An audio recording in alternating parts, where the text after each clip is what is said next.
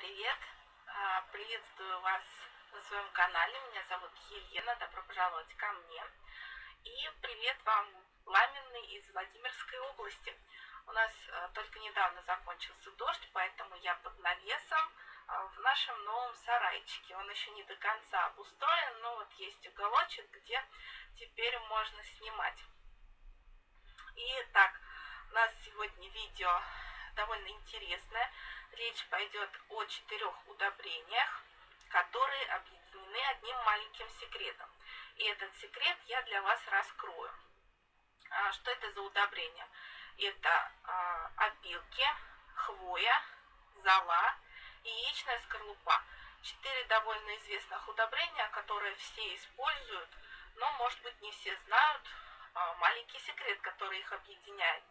И сегодня я вам его раскрою. Давайте же перейдем к делу. Каков же секрет четырех удобрений? Удобрения, как вы видите, а, можно сказать, что народные, но в принципе их все знают и все используют. Это зола, опилки, хвоя и яйца, яичная скорлупа. Так в чем же секрет? Секрет довольно простый, он объединяет все четыре удобрения – Верхний ряд, а, вы видите, а, это необработанные, то есть а, те, как есть удобрения.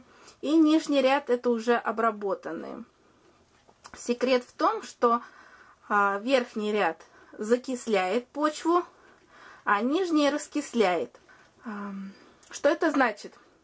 Например, у вас торф или перегной – то есть земля довольно-таки жирная, и вам нужно ее немножко разбавить, а, то есть закислить немножко.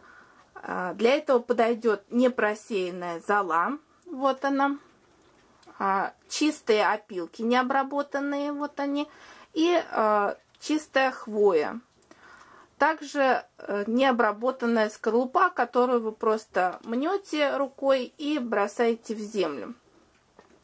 А, и наоборот, если у вас, например, очень кислая земля, то есть песок и э, супесь, то есть это суглинок с песком, и вам нужно немножко облагородить, подпитать эту землю, а, подойдут, э, то есть раскислить,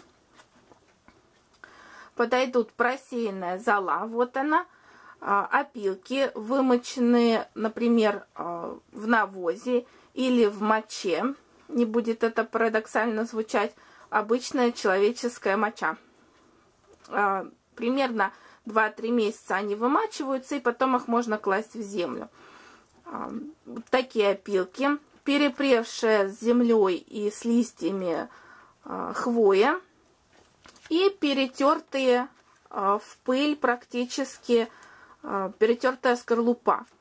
Вот такой маленький секрет, который объединяет эти четыре довольно простых удобрения, которые все используют, все применяют, но, возможно, не все знают этот маленький секрет. Вот такой маленький секрет. Надеюсь, что кому-то было это полезным видео. И приятных вам дачных работ, а, чтобы все росло и возрастало и используйте удобрения с умом. До новых встреч, увидимся, пока-пока.